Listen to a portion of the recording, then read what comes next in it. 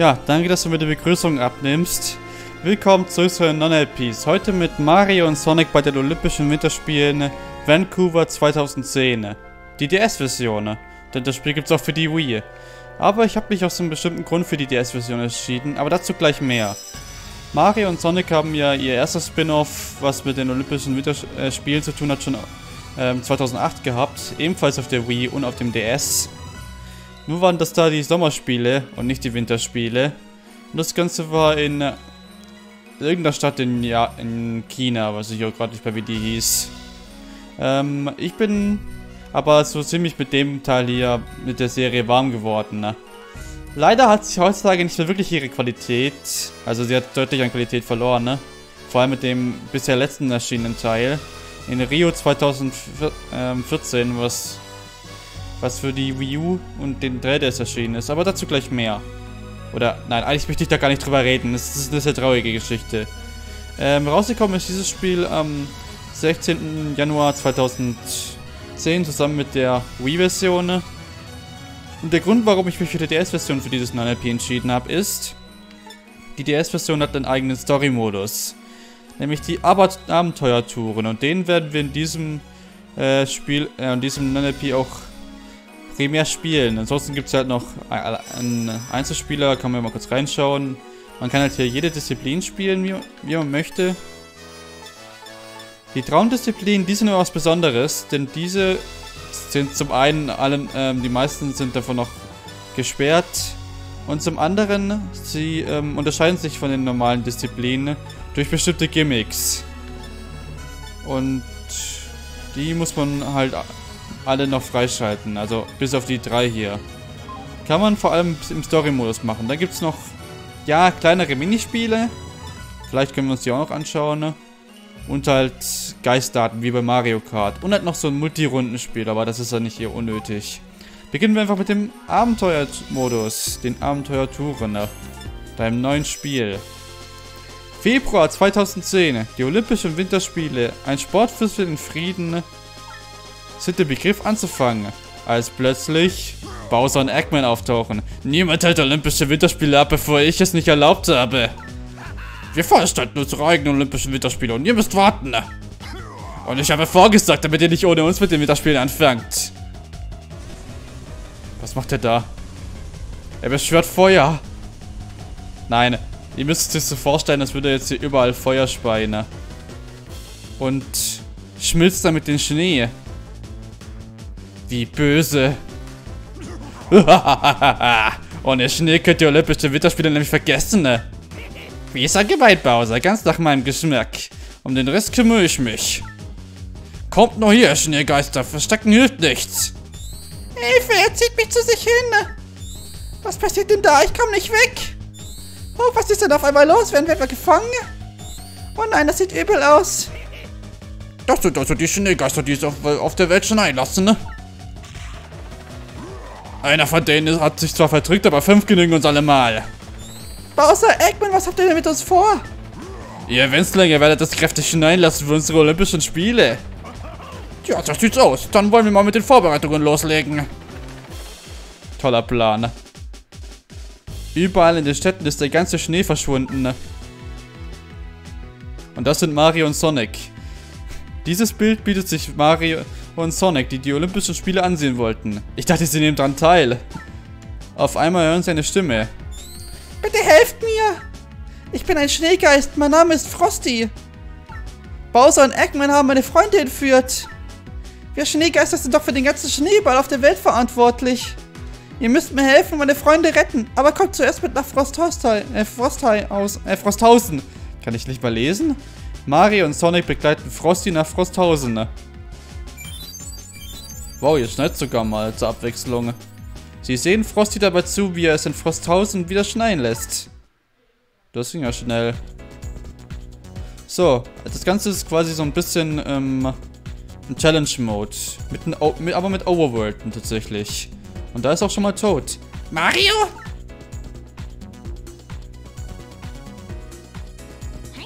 Du bist, du bist Mario. Lange nicht gesehen. Ich bin's Toad.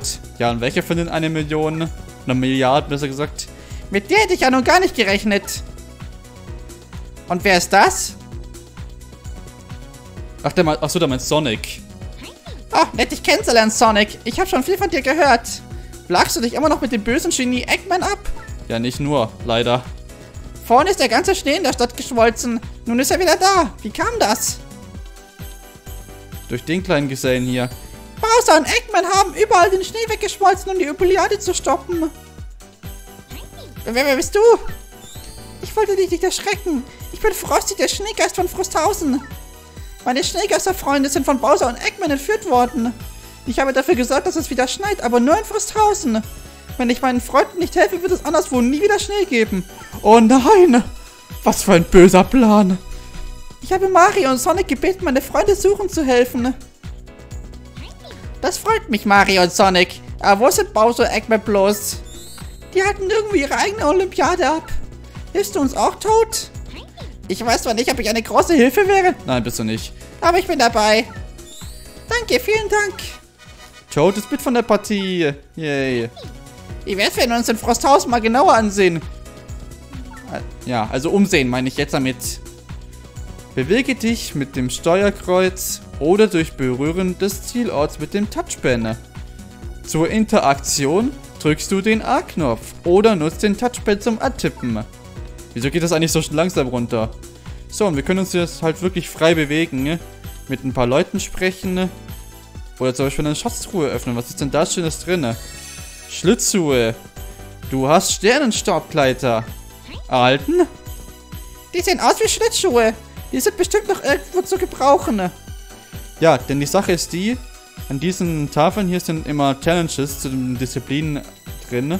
Und die können wir ohne die nötigen Utensilien, also zum Beispiel jetzt die ähm, Schlittschuhe, nicht bewältigen. Was geht bei den Chow so ab? Ciao, ciao. Ihr habt Sternenstaubgleiter in der Schatztruhe gefunden. Ich bin so neidisch. Du hättest sie auch einfach selbst öffnen können, aber gut. Ich werde die war nicht mal fünf Meter von dir weg. Oh nein, jetzt sieht nach Ärger aus. Eismauern versperren den Weg zum Platz. Wirklich? Tatsächlich. Eine Eismauer versperrt den Weg. Da kommen wir erstmal nicht weiter. Übrigens können wir auch immer wieder zwischen Mario und Sonic wechseln. Ich glaube, Sonic ist ein bisschen... Wobei, nein. Ich wollte gerade sagen, Sonic ist ein bisschen schneller als Mario, aber das trifft es erst dann nicht wirklich zu. Was ist denn das für ein Brett hier? Also das ist wirklich für die Disziplinen. Das sind quasi Challenges. In, den Stadt, in der Stadt sind hier und da Schilder zu sehen. Sie zeigen die Anweisungen zu den Missionen, an denen ihr teilnehmen könnt. Wollt ihr als erstes die Eisschnelllaufmission ausprobieren? Vielleicht kann euch jemand der vielen Zuschauer einen Hinweis geben. Oder ich lese einfach das, was da oben steht, weißt du? Gelange innerhalb von Sekunden, 5 Sekunden des Ziels. Zielsteuerung für die Befehle. Das ist die Gelegenheit, die Sternstaubgleiter zu testen. Mal sehen, was sie können. Ja, und dann können wir uns halt entscheiden, wer das macht. Ich entscheide mich jetzt einfach für, nee, für Sonic, weil der ist deutlich schneller, wie man sieht. Die Charaktere haben nämlich auch unterschiedliche Stats. So, ähm, die Steuerung würde ich aber doch gerne mal wissen, ne? Ähm, das kann man sich auch mit dem Film anschauen, ne? Ähm. Drücke. Ach nee, stimmt, das war einfach nur L und R. Vielleicht ist es nicht irgendwie, irgendwie ähm, alleine anschauen, also einfach nur die Steuerung. Okay, ich versuch's einfach mal. Also unter 60 Sekunden muss ich jetzt hier am Ziel ankommen. Das sollte ich ja wohl noch hinkriegen. Ne? So. Dann seht ihr zumindest auch mal äh, richtiges Gameplay. Ja, genau. Einfach nur L und R abwechselnd drücken. Ne? Und jetzt seht ihr, wenn man in der Kurve ist, dann einfach L drücken. Oder, nee, eigentlich nur L. Eigentlich nur R. Also früher habe ich mit dem Spiel wirklich sehr viel Spaß gehabt. Also ich bin noch eher mit diesem Spiel groß geworden als mit den ähm, Sommerspielen. Die habe ich erst danach gezockt. Und den Abenteuermodus, den habe ich echt, den habe ich echt genossen. Ne? Und ich bin froh, dass es auf einen Freund von mir auch zu, zugetroffen hat. Und ich mich mit ihm dann so ein bisschen austauschen konnte. Ja, das glaube ich dir gerne Sonic. Wenn man immer, wenn man eine Mission erledigt, dann bekommt man auch immer ähm, Leben dazu. Und die sind natürlich dazu da, sollte man failen, ne? Was uns hoffentlich in diesem Video nicht mehr passieren wird. Glückwunsch zum Abschluss der Mission. Was ist das denn? Ein Kristall. Du hast einen Kristall. Och, irgendwas ist gerade vom Himmel runtergeschwebt. Was ist das? Das ist ein Kristall, ein Symbol des Sieges. Kristalle geben Schneegeistern mir geheimnisvolle Kräfte. Boah, das klingt aufregend. Die Kristalle können wir später vielleicht auch gut gebrauchen. Wenn wir Kristalle haben, sollten wir uns überlegen, wie wir sie einsetzen können. Schilder mit einem mit einem Ausrufezeichen für die Mission zeigen an, dass Kristalle vorhanden sind. Habt ihr die Mission bereits abgeschlossen, seht ihr einen Stern auf dem Schild. Wir müssen also Schilder mit äh, dem Ausrufezeichen suchen und so viele Missionen wie möglich schaffen. Wenn ihr die Mission nicht schafft oder wiederholt, habt ihr weniger Versuche. Dann müssen wir vorsichtig sein. Vorher wissen wir, wie viele Versuche wir haben. Äh, ja, schau einfach mal auf die Herzen. Wie wär's damit? Ach, sorry, da habe ich gerade nicht drauf geachtet. Dann weiter geht's. Ist halt echt so, so lächerlich. Aber gut. Jetzt können wir die mal die Schneemauer noch untersuchen, ne? Eine Eismauer versperrt den Weg. Was sollen wir jetzt tun? Solange diese dicke Eismauer hier ist, kommen wir nie zum Platz in Frosthausen. Glaubst du, dass Bowser und Eggman dahinter stecken? Also die Chance liegt schon nahe. Frosty, weißt du mehr? Ich glaube, mit Hilfe der Kristalle kann ich diese Eismauer mühelos entfernen. Ich kümmere mich drum. Na dann mach mal. Übrigens habe ich schon erwähnt, dass diese ähm, Schneegeister übelst die Chaos Emeralds fake sind. Weil ich meine, die haben die gleiche Farbe und wirken auch fast genauso. Die Eismauer ist verschwunden, die können jetzt weitergehen. Oder soll es vielleicht eine Anlehnung an die Chaos Emeralds sein? Kann ja auch sein, ne? Oh, wen haben wir denn da? Bowser Junior. Es gibt nämlich auch Zwischenbosse in diesem Spiel. Der kommt nämlich nicht am besten mit Mario. Und er ist der erste davon. Hey, was geht? Ah! Ich war auf der Suche nach Schneegeistern. Was finde ich? Mario und Sonic. Darf ich auf keinen Fall sehen. Moment, ich muss mal kurz schneiden.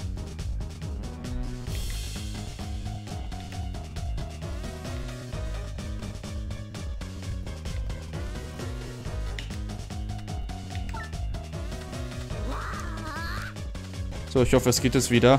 Ey, was stottet ihr da? Wenn ihr meint, ihr könnt das mit mir aufnehmen, dann dreht ihr den schon Eisschnell auf an. Klar. ihr wisst ja nicht, worauf ich euch da einlasst. Ich mache euch zur Schnecke. Mario, ich hoffe, dass Sie meine Lektion erteilen. Ja, auf jeden Fall. Deswegen machst du jetzt auch einfach Mario.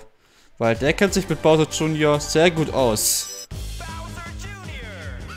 Ist, hat, auch nicht eine, hat auch keine bessere Erziehung genossen als sein Vater. Kein Wunder eigentlich, oder? So. Aber wir haben das ja gerade eben schon gemacht, also von daher sollte ich den hier locker besiegen können. Ne? Außerdem ist es der erste Boss, also von daher da eigentlich nichts drauf. Ja, und die Bosse sind entweder halt böse Charaktere, die man auch selbst spielen kann, oder andere Antagonisten, ne? Aus den verschiedenen Franchises. Und du warst ja mal gar kein Problem, Bowser Junior. Schaut euch mal an, wie weit er zurücklegt. Ja, wirklich fantastico, Mario. Du hast ihm gar keine Chance gelassen, ne? Und er macht mich zur Schnecke.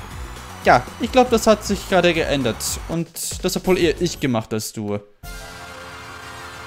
Ein Leben mehr. Oh, wir haben eine neue Disziplin freigestaltet. Raketenzielsprung. Und den Schneekanonenkampf. Nice to know. Ich hab verloren. Ich hab tatsächlich verloren. Ist doch nicht das erste Mal. Ich hab's geschafft. Ihr habt Bowser Junior gezeigt, wer der Boss ist. Gut gemacht, Mario. Wir sind noch nicht fertig, das sag ich meinem Papa. Er wird noch größere Eismauern bauen, damit er nicht aus der Stadt kommt. Lol. Bowser Junior entwischt, los ihm nach. Wow, ist ja schnell. Aber der Platz von Frosthausen ist direkt davon, aber wir sind ganz schön angeschmiert. Wir brauchen noch mehr Kristalle, um die Eismauern zu durchbrechen. Da hätte ich ja nie mit gerechnet. Also die Story ist sehr, sehr simpel, wie ihr seht. Super, wir sind am Platz angekommen. Aber was machen wir jetzt? Dieser Ort ist so groß. Und ein Omochao. Hm, ist das nicht Omochao da drüben? Ich habe gehört, dass Omochao über alles Bescheid weiß. Ja, über alles, was ich selbst auch weiß. Vielleicht hat er ja da ein paar nützliche Informationen für uns. Nö. Es wäre keine schlechte Idee, Omochao zu fragen, wenn wir mal nicht weiter wissen. Doch. Ich kann den Typen nicht ausstehen. Der ist seit Sonic Adventure 2 so eine Nervensäge. Ich hätte mir gar keine Aufmerksamkeit gönnen. Das ist alles, was ich machen kann. Hm, das könnte die, die Eisschnelllauf-Mission auch hier antreten. Gibt es ja auch noch was anderes außer Eisschnelllauf? Ich habe jetzt irgendwie keinen Bock darauf. Gibt es noch was anderes? Oh, da ist Tails. Ähm, es gibt nämlich auch ähm, rekrutierbare Charaktere. Hi Sonic, so ein Zufall, dass wir uns hier über den Weg laufen. Joa. Und Tails ist einer davon, ne? Oh, und Mario ist auch bei dir. Joa. Ich wollte bei den Olympischen Spielen mitmachen, aber mir fehlt ein Wettkampfpartner. Hey, wie wär's, wenn wir einen kleinen Skisprung-Wettkampf untereinander veranstalten? Was, ihr habt keine Skier? Ja, dann haut ab. Oh Mann, ihr seid so luschen. Ihr habt ja nicht mal Skier. Aha, aha, ihr meint die sogenannten Kometenskier, oder? Ich schätze, erst müssen wir die mal besorgen. Ja, Ja, kommt zuerst wieder her, wenn ihr welche habt, ne? ach, okay, das habe ich jetzt erstmal nicht bedacht, dass man da vielleicht neue Skier brauchen könnte. Ich habe keine Ahnung, wo die überhaupt sind. Hi, Scheiger, was geht? Hey Leute, habt ihr Spaß bei eurem Abenteuer? Einige der Missionen sind ziemlich schwierig, wisst ihr? Hattet ihr Probleme damit? Wenn ihr nicht weiter wisst und die Mission nicht schafft, kommt zu mir. Versucht euer Bestes, ehe ihr zu mir kommt, dann helfe ich euch vielleicht. Okay, ist das so eine Art Joker? Ähm. Wobei, ich glaube, ich weiß so in etwa, wo die Skier nochmal sind. Die, dafür müssen wir jetzt mal hier hoch. Überall sind Bowser und Eggman-Flaggen übrigens. Ein Tor. Das Tor ist versperrt. Verflixt, ich glaube nicht, dass wir es ohne Hilfe aufbekommen. Irgendwo muss sich eine Vorrichtung zum Öffnen des Tors befinden. Ja, das sieht schon ziemlich verdächtig aus. Dieser Mechanismus scheint mir ein guter Kandidat zu sein. Ja. Was ist denn das für ein Ding? Ein Totempfahl ist es jedenfalls nicht. Sieht aus wie eine Art Mechanismus. Mal sehen, ob man ihn aktivieren kann. Hm, da habe ich mich geirrt. Oh, seht mal, hier befindet sich ein Hammer-Symbol. Aha.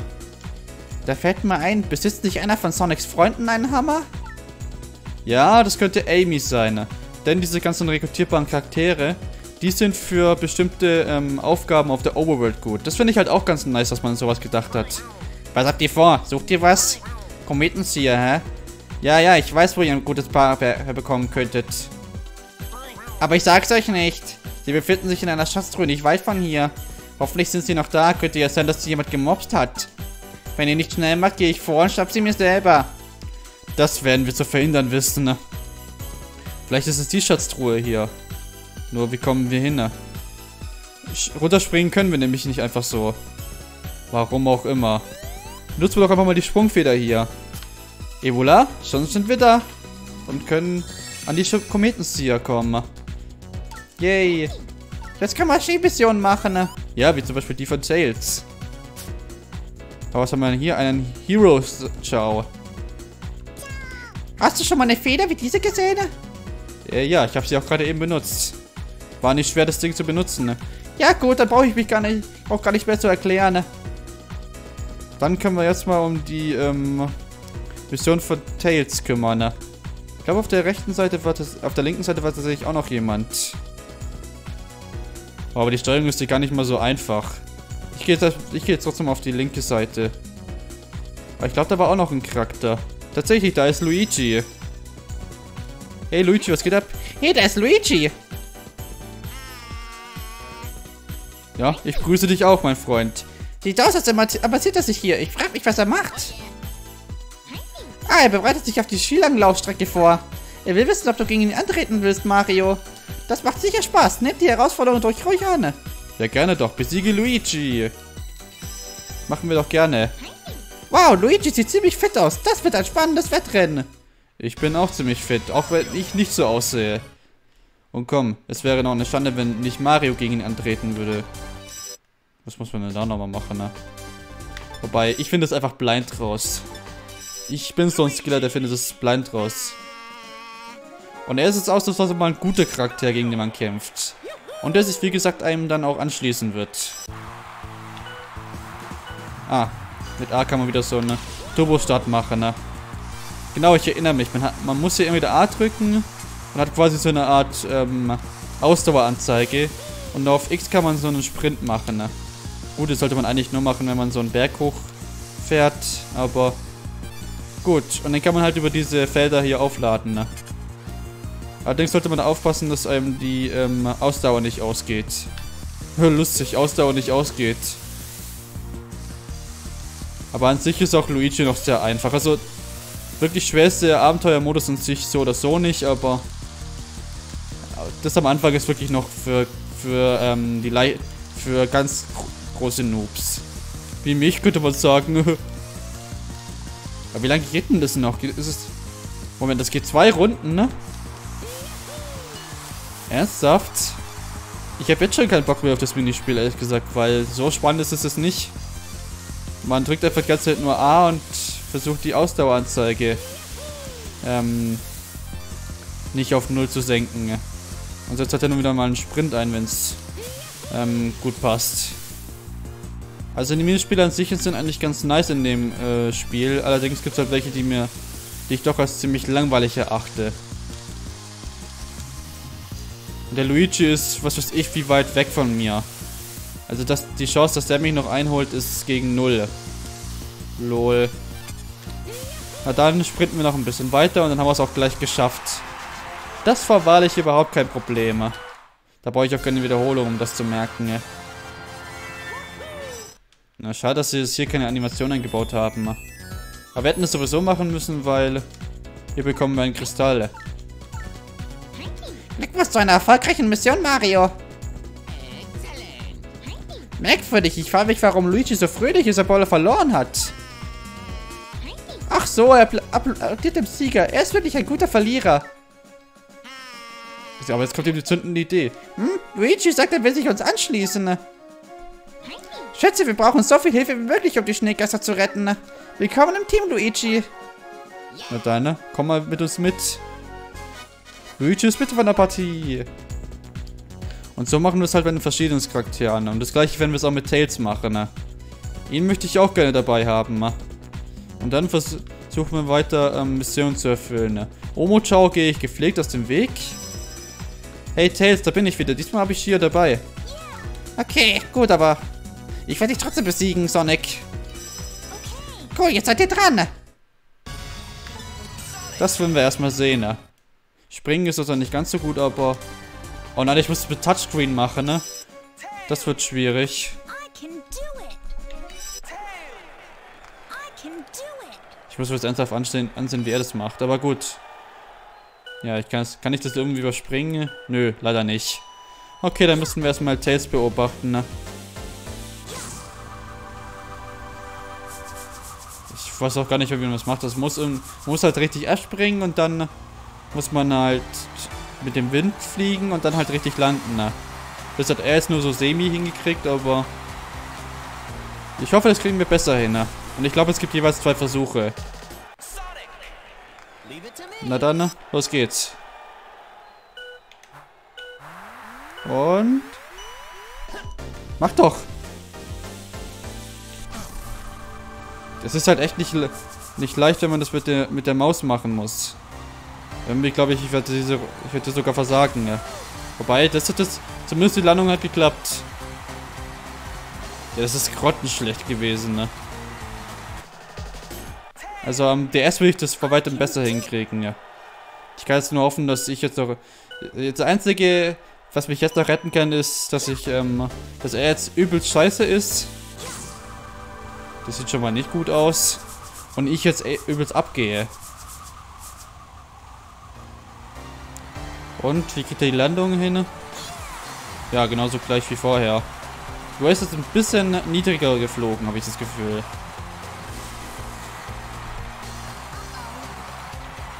Hey, wieso gibst du etwa schon auf?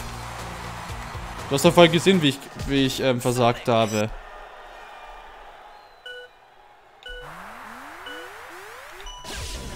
Ah, diesmal hat es geklappt. Ja, das klappt. Das sieht doch schon besser aus. So, mal sehen, ob ich auch die Landung so gut hinkriege. Ja. Das ist doch ein soliden, guter zweiter Versuch gewesen, ne? Aber ob der mich noch retten kann? Ne? Tatsächlich, er hat, hat mich doch gerettet. Lol. Solche, sowas kriege aber auch nur ich hin, oder? Wir haben schon voll viele Leben, ne? Sind wir hier in, sind wir hier in Kirby Star Allies? So. Ach, ich muss an meiner Technik arbeiten, ne? Oh, ihr wollt also die Schneegeister retten? Ja. Warum nehme ich nicht mit?